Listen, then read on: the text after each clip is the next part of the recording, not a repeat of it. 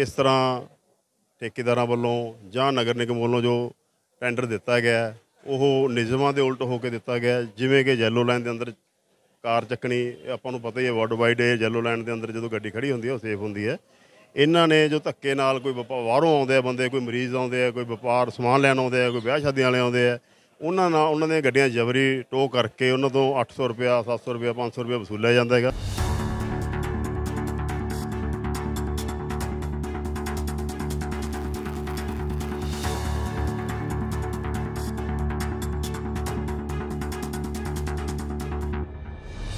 ਸ਼੍ਰੀ ਅਕਾਲ ਜੀ, ਤੁਸੀਂ ਦੇਖ ਰਹੇ ਹੋ ਅਜੀਤ ਟੀਵੀ ਤੇ ਮੈਂ ਨਾਇਬ ਸਿੰਘ ਸਿੱਧੂ।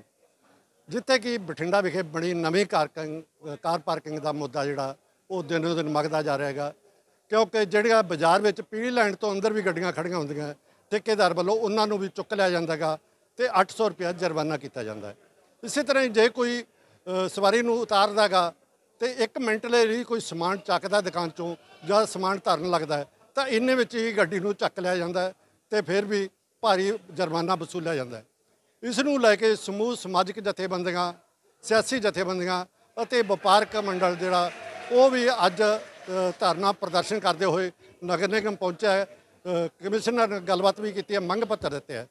ਇਹ ਪਾਰਕਿੰਗ ਬਣੀ ਸੀ ਬਠਿੰਡਾ ਲੋਕਾਂ ਦੀ ਮਦਦ ਵਾਸਤੇ। ਬਠਿੰਡੇ ਦੇ ਵਪਾਰੀਆਂ ਨੂੰ ਹੈਲਪ ਕਰਨ ਵਾਸਤੇ, ਬਠਿੰਡੇ ਦੇ ਵਿੱਚ ਟ੍ਰੈਫਿਕ ਨੂੰ ਕੰਟਰੋਲ ਕਰਨ ਵਾਸਤੇ। ਬੜੀ ਖੁਸ਼ੀ ਸੀ ਜਿਸ ਦਿਨ ਕਾਰਪੋਰੇਸ਼ਨ ਤਿਆਰ ਹੋਈ ਪਾਰਕਿੰਗ ਤਿਆਰ ਹੋਈ। ਔਰ ਅੱਜ ਸਾਰੇ ਬਠਿੰਡੇ ਦੇ ਵਿੱਚ ਵਪਾਰੀਆਂ 'ਚ ਇੱਕ ਡਰ ਦਾ ਮਾਹੌਲ ਹੈ ਕਿ ਕੋਈ ਚਾਰ ਗੁੰਡੇ ਖੜੇ ਹੋ ਗਏ ਜਦੋਂ ਮਰਜ਼ੀ ਸਾਡੀ ਗੱਡੀ ਚੱਕਣ ਤੇ ਲੈ ਜਾਣ। ਔਰ ਜਦੋਂ ਮਰਜ਼ੀ ਸਾਡੀ ਗੱਡੀ ਟੋ ਕਰਨ ਤੇ ਲਿਜਾ ਕੇ ਕਾਰ ਪਾਰਕਿੰਗ 'ਚ ਲਾ ਲੈਣ। ਜਦੋਂ ਮਰਜ਼ੀ ਕੋਈ ਗੱਡੀ ਖੜੀ ਤੇ ਗੱਡੀ ਪਰਚੀ ਕੱਟ ਲੈਣ। 500 ਰੁਪਿਆ ਗੁੰਡਾ ਟੈਕਸ ਦੀ ਪਰਚੀ ਕਰ ਲੈਣ। ਇਹ ਅੱਜ ਤੱਕ ਤਾਂ ਅਸੀਂ ਦੇਖਿਆ ਨਹੀਂ ਹੈ ਕਿ ਪ੍ਰਾਈਵੇਟ ਜਿਹੜੇ ਟ੍ਰੈਫਿਕ ਕਰਮਚਾਰੀ ਹੁੰਦੇ ਆ ਛੋਟੀਆਂ ਗੁੰਡੇ ਕਰਨ ਲੱਗ ਜਾਣ। ਔਰ ਉਹ ਗੁੰਡਿਆਂ ਨੂੰ ਸ਼ਹਿ ਪ੍ਰਾਪਤ ਹੋਵੇ ਅਧਿਕਾਰੀਆਂ ਦੀ, ਬੜੀ ਸ਼ਰਮ ਦੀ ਗੱਲ ਹੈ। ਅਸੀਂ ਨਿੰਦਾ ਕਰਦੇ ਹਾਂ। ਅਸੀਂ ਪ੍ਰਸ਼ਾਸਨ ਨੂੰ ਇਹ ਬੇਨਤੀ ਕਰਨ ਆਏ ਹਾਂ ਕਿ ਇਹ ਬਾਜ ਆਉਣਾ ਚਾਹੀਦਾ ਅਧਿਕਾਰੀਆਂ ਨੂੰ, ਆਪਦੇ ਅਧਿਕਾਰਾਂ ਦੀ ਸੀਮਤ ਵਰਤੋਂ ਕਰਨੀ ਨਹੀਂ ਚਾਹੀਦੀ ਹੈ। ਤੇ ਇਹ ਜਿਹੜਾ ਮਾਹੌਲ ਹੈ, ਇਹ ਅਸੀਂ ਬਿਲਕੁਲ ਨਹੀਂ ਹੋਣ ਦੇਵਾਂਗੇ।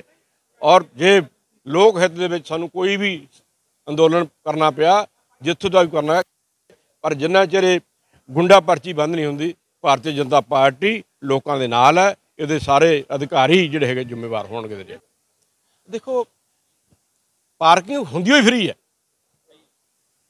ਇਹ ਇਹ ਜਗ੍ਹਾ ਸੀਗੀ ਇਹ ਬੜੇ ਦੇਰ ਤੋਂ ਪਲੈਨਿੰਗ ਬਣੀ ਸੀਗੀ। ਇਹ ਤੋਂ ਪਹਿਲਾਂ ਵੀ ਜਦੋਂ ਅਕਾਲੀ ਸਰਕਾਰ ਸੀ ਉਦੋਂ ਵੀ ਪਾਸ ਹੋਈ ਸੀ ਚਲੋ ਲੇਟ ਹੋ ਗਈ ਹੁਣ ਬਣ ਗਈ ਇਹ। ਤਾਂ ਇੱਕ ਵਪਾਰੀ ਬੈਠੇ ਆ ਵਪਾਰੀਆਂ ਦੀ ਸਹੂਲਤਾਂ ਵਾਸਤੇ ਬਣਾਈ ਸੀ ਵਪਾਰੀਆਂ ਦੇ ਉੱਤੇ ਗੁੰਡਾ ਟੈਕਸ ਲੱਗੇ ਇਹਦੇ ਹੱਥ ਨਹੀਂ ਬਣਾਈ ਸੀ।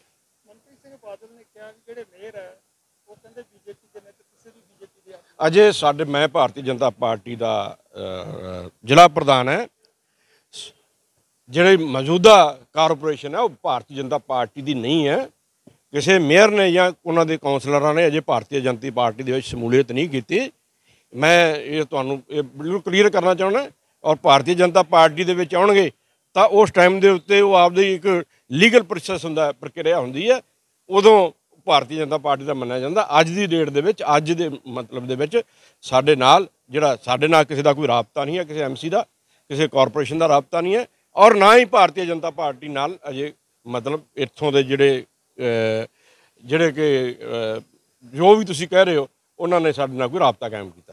ਕੀ ਕਹਿਣਾ ਚਾਹੋਗੇ ਅੱਜ ਜਿਹੜਾ ਤੁਸੀਂ ਧਰਨਾ ਦਿੱਤਾ ਪਿਛਲੇ ਕਈ ਦਿਨਾਂ ਤੋਂ ਜੋ ਪਾਰਕਿੰਗ ਦਾ ਮੁੱਦਾ ਉੱਠਿਆ ਹੋਇਆ ਸ਼ਹਿਰ ਦੇ ਵਿੱਚ ਕਿਸ ਤਰ੍ਹਾਂ ਠੇਕੇਦਾਰਾਂ ਵੱਲੋਂ ਜਾਂ ਨਗਰ ਨਿਗਮ ਵੱਲੋਂ ਜੋ ਟੈਂਡਰ ਦਿੱਤਾ ਗਿਆ ਹੈ, ਉਹ ਨਿਯਮਾਂ ਦੇ ਉਲਟ ਹੋ ਕੇ ਦਿੱਤਾ ਗਿਆ, ਜਿਵੇਂ ਕਿ ਯੈਲੋ ਲਾਈਨ ਦੇ ਅੰਦਰ ਕਾਰ ਚੱਕਣੀ, ਆਪਾਂ ਨੂੰ ਪਤਾ ਹੀ ਹੈ ਵਰਲਡ ਵਾਈਡ ਇਹ ਯੈਲੋ ਲਾਈਨ ਦੇ ਅੰਦਰ ਜਦੋਂ ਗੱਡੀ ਖੜੀ ਹੁੰਦੀ ਹੈ, ਉਹ ਸੇਫ ਹੁੰਦੀ ਹੈ।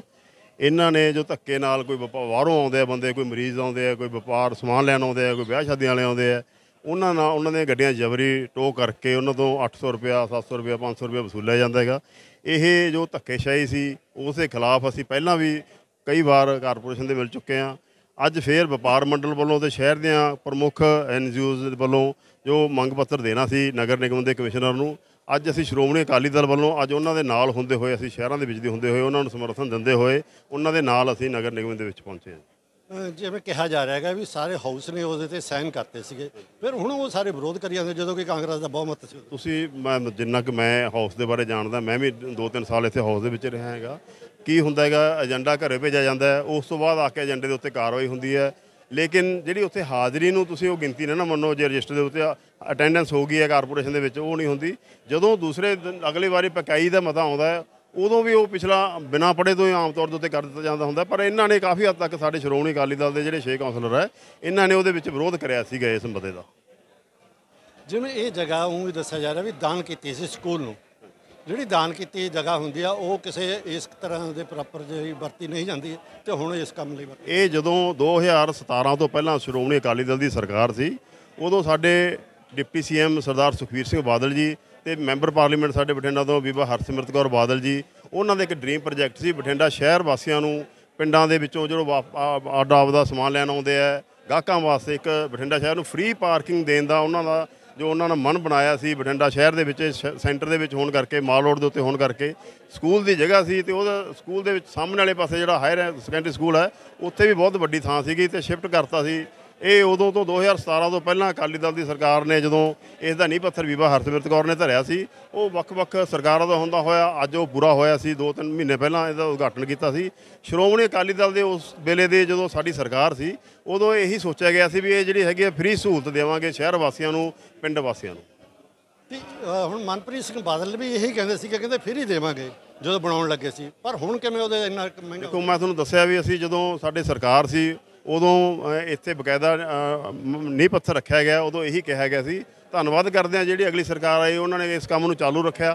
ਉਸ ਤੋਂ ਬਾਅਦ ਆਮ ਆਦਮੀ ਨੇ ਵੀ ਇਹਦਾ ਜਾਰੀ ਰੱਖਿਆ, ਪਰ ਜਦੋਂ ਅਸੀਂ ਇਹਦੇ ਨਾਲ ਸਹਿਮਤ ਨਹੀਂ ਹੈ, ਜਿਹੜਾ ਇਹਨਾਂ ਨੇ ਟੈਂਡਰ ਬਣਾ ਕੇ, ਟੈਂਡਰ ਇੰਨੇ ਮਹਿੰਗਾ ਦੇ ਕੇ, ਤੇ ਕਿਤੇ ਨਾ ਕਿਤੇ ਦੇਖੋ ਅਸੀਂ ਸ਼ਹਿਰੀ ਬੰਦੇ ਆ ਸ਼ਹਿਰੀ ਵਪਾਰੀ ਸਾਡੇ ਵਪਾਰ ਕਰਦੇ ਆ, ਸਵੇਰ ਤੋਂ ਲੈ ਕੇ ਸ਼ਾਮ ਤੱਕ ਆਪਦੇ ਦੁਕਾਨਾਂ ਸ਼ੋਰੂਮਾਂ ਤੇ ਬਹਿੰਦੇ ਆ 2 ਰੁਪਏ ਕਮਾਉਂਦੇ ਆ ਤੇ ਆਪਦੇ ਬੱਚਿਆਂ ਦਾ ਢਿੱਡ ਪਾਲਦੇ ਆ। ਇਹ ਉਹਨਾਂ ਨਾਲ ਧੱਕਾ ਹੈਗਾ, ਦੇਖੋ ਇੰਨੇ ਨੇ ਮਹਿੰਗੇ ਰੇਟਾਂ ਦੇ ਉੱਤੇ ਇੱਕ ਘੰਟਾ 15 ਰੁਪਏ ਕਾਰਪੋਰੇਸ਼ਨ ਨੂੰ ਚਾਹੀਦਾ ਸੀ ਉਹਨੂੰ ਟ੍ਰਾਇਲ ਬੇਸਿਸ ਦੇ ਉੱਤੇ 6 ਮਹੀਨੇ ਆਪਦੇ ਹੱਥਾਂ ਦੇ ਵਿੱਚ ਲੈਂਦੇ ਫਿਰ ਦੇਖਦੇ ਕਿੰਨਾ ਰੈਵਨਿਊ ਇਕੱਠਾ ਹੁੰਦਾ। ਉਹਦੇ ਅਕੋਰਡਿੰਗ ਟੈਂਡਰ ਵੀ ਲਾ ਦਿੰਦੇ ਕੋਈ ਇਤਰਾਜ਼ ਨਹੀਂ ਸੀ ਪਰ ਯੈਲੋ ਲਾਈਨ ਨੂੰ ਬਹਾਲ ਰੱਖਣਾ ਚਾਹੀਦਾ ਸੀ। ਕਿਤੇ ਅਫਸਰ ਤਾਂ ਇਹ ਤਾਂ ਨਹੀਂ ਗਏ ਵੀ ਕਾਉਂਸਲਰਾਂ ਨੂੰ ਪੁੱਛਦੇ ਨਹੀਂ ਕਿਉਂਕਿ ਇਹ ਜਿਹੜੇ ਆਪਸ ਵਿੱਚ ਪਾਟੇ ਪਏ ਕੁਝ ਕਾਂਗਰਸੀ ਜਿਹੜੀ ਬੀਜੇਪੀ 'ਚ ਵਗ ਗਏ ਕੁਝ ਕਾਂਗਰਸੀ ਰਹਿ ਗਏ ਕੁਝ ਅਕਾਲੀ ਦਲ ਦੇ ਹੋ ਗਏ ਤੁਸੀਂ ਇਕੱਲੇ ਅਫਸਰਾਂ ਦੀ ਗੱਲ ਨਾ ਕਰੋ ਜਦੋਂ ਕਾਰਪੋਰੇਸ਼ਨ ਤੁਸੀਂ ਦੱਸ ਦਿਓ ਕਿਹਦੀ ਹੈ ਕਾਰਪੋਰੇਸ਼ਨ? ਸਾਡੇ ਤਾਂ 6 ਕਾਉਂਸਲਰ ਹੈ ਆਪੋਜੀਸ਼ਨ ਅਸੀਂ ਪਹਿਲਾਂ ਵੀ ਸੀ ਅੱਜ ਵੀ ਆਪੋਜੀਸ਼ਨ ਆ ਅਸੀਂ ਆਪੋਜੀਸ਼ਨ ਦੀ ਭੂਮਿਕਾ ਨਿਭਾ ਰਹੇ ਹਾਂਗੇ। ਤੁਹਾਨੂੰ ਪਤਾ ਹੈ ਵੀ ਕਾਪ- ਕਾਰਪੋਰੇਸ਼ਨ ਕਿਹਦੀ ਹੈ ਇਹ? ਪਤਾ ਹੀ ਨਹੀਂ ਲੱਗ ਰਿਹਾ। ਨਾ ਇਹ ਪਤਾ ਲੱਗ ਰਿਹਾ ਵੀ ਇੱਥੇ ਕੰਮ ਕੀ ਕਰਨਾ ਹੈਗਾਗਾ। ਬੀਬਾ ਨੂੰ ਅਸੀਂ ਬੇਨਤੀ ਕਰਦੇ ਹਾਂ, ਅੱਜ ਫਿਰ ਮੈਂ ਬੇਨਤੀ ਕਰਦਾ ਵੀ ਤੁਸੀਂ ਆਪਦਾ ਮਤਾ ਲੈ ਕੇ ਆਓ। ਨੰਜਾ ਦੇ ਨੰਜਾ ਤੁਹਾਡੇ ਮੈਂਬਰ ਤੁਹਾਨੂੰ ਪਤਾ ਲੱਗ ਜੂ ਕਿਹੜਾ ਤੁਹਾਡੇ ਨਾਲ ਹੈ ਕਿਹੜਾ ਤੁਹਾਡੇ ਉਲਟ ਹੈ। ਤੁਸੀਂ ਐਫਐਨਸੀਸੀ ਦੀ ਗੱਲ ਕਰਦੇ ਹੋ, ਤੁਸੀਂ ਹਾਊਸ ਦੀ ਮੀਟਿੰਗ ਬੁਲਾਓ। ਏਜੰਡਾ ਤੁਸੀਂ ਹਾਊਸ ਦੇ ਵਿੱਚ ਮੇਅਰ ਕੋਲੇ ਪਾਵਰ ਹੁੰਦੀ ਹੈ। ਮੇਅਰ ਆਪਦਾ ਹੱਕ ਪਾਵਰ ਵਰਤ ਕੇ ਅੱਜ ਸ਼ਹਿਰ ਨੂੰ ਲੋੜ ਹੈ ਤੁਹਾਡੇ ਫੈਸਲਾ ਲੈਣ ਦੀ, ਤੁਸੀਂ ਫੈਸਲਾ ਲੈ ਕੇ ਹਾਊਸ ਦੀ ਮੀਟਿੰਗ ਬੁਲਾਓ ਤੇ ਉਹੀ ਮੀਟਿੰਗ ਤੋਂ ਬਾਅਦ ਨੰਜਾ ਮੈਂਬਰ ਹੈਗੇ, ਤੁਸੀਂ ਉਹਦੇ ਵਿੱਚ ਫੈਸਲਾ ਕਰ ਦਿਓ। ਜੇ ਨੰਜਾ ਮੈਂਬਰਾਂ ਚ ਚਾਹਣਗੇ, ਰੱਖ ਦਿਓ, ਤੁਸੀਂ ਇਹਨੂੰ ਰੱਦ ਕਰੋ। ਇਹ ਸਨ ਸ਼੍ਰੋਮਣੀ ਅਕਾਲੀ ਦਲ ਦੇ ਆਗੂ, ਜਿਨ੍ਹਾਂ ਨੇ ਕਿਹਾ ਕਿ ਹਾਊਸ ਦੀ ਮੀਟਿੰਗ ਬੁਲਾ ਕੇ ਇਸ ਨੂੰ ਰੱਦ ਕਰਨਾ ਚਾਹੀਦਾ ਹੈ। ਜੇ ਬਹੁਮਤ ਹੋਊਗਾ ਤਾਂ ਆਪੇ ਹੀ ਰੱਦ ਹੋ ਜਾਊਗਾ, ਕਿਉਂਕਿ ਹੁਣ ਇਹ ਨਹੀਂ ਪਤਾ ਕਿਹੜੇ ਸ਼੍ਰੋਮਣੀ ਅਕਾਲੀ ਦਲ ਦੇ ਕਿੰਨੇ ਵਰਕ- ਆਪਣੇ ਕਾਉਂਸਲਰ ਹੈ ਤੇ ਕਿੰਨੇ ਬੀਜੇਪੀ ਚ ਬਾਗੇ ਤੇ ਕਿੰਨੇ ਕਾਂਗਰਸ ਦੇ ਬਾਕੀ ਰਹਿ ਗਏਗੇ ਇਹ ਤਾਂ ਆਉਣ ਵਾਲੇ ਦਿਨਾਂ 'ਚ ਹੀ ਪਤਾ ਚੱਲੇਗਾ।